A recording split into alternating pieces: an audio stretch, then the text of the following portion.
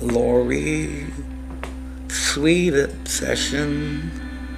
You were messing with a whiz who was messing, wishing you'd be his.